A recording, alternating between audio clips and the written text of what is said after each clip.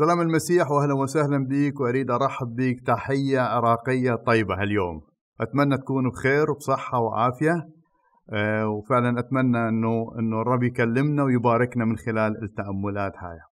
اليوم أريد أتأمل وياك بمقطع قصير جدا من سفر التكوين أيضا بصحاح الأول والعدد 31 اللي بيتكلم عن أنت حسنا جدا. مكتوب وراء الله كل ما عمله فإذا هو حسن جدا.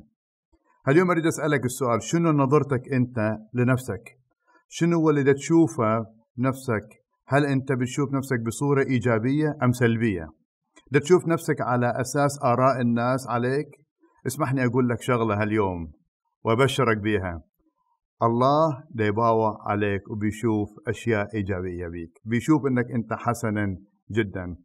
مكتوب إنه شاف كل اللي اللي سواه قبل ما يخلق الإنسان إذ هو حسن.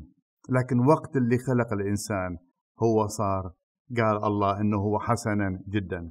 أنت مخلوق على أيادي ماهرة والله ما يخلق أي شيء سيء. أنت وأنت غاليين وقيمين في نظره هو. الله مهتم بينا مهتم بالصغيرة وكبيرة بحياتنا. بالرغم من الخطيئة والشر اللي موجودة بينا وبالعالم اللي إحنا عايشين بيه لكن نظرة الله عننا لم تتغير لأن هو يحبنا. محبة أبدية. ويقدر أن يغيرنا للأحسن حسب تلك الصورة عينها مثل ما مكتوب بالإنجيل صورة يسوع المسيح. لا تقيم نفسك على أساس العالم اللي تعيش بيه لكن قيم نفسك على أساس الثمن اللي اندفع من أجلك على الصليب. الله بيشوفك غالي وثمين حتى بهذا اليوم. خلينا نصلي عن فعلا هذا الموضوع. ينفتح بفكرك وتقدر تصدقه وتعيشه إنه أنت غالي وثمين في في نظر الله. يا أبانا السماوي بنشكرك فعلا يا رب لأن أنت اللي بتقيمنا وأنت اللي خلقتنا ومن خلقتنا يا رب أنت شفت بينا إنه نحن حسنا جدا.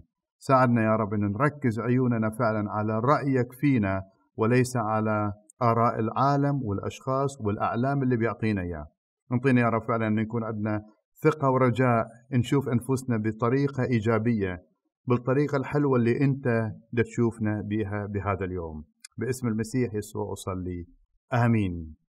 آمين. الرب يباركك. وتذكر أنك أنت غالي وثمين. thank you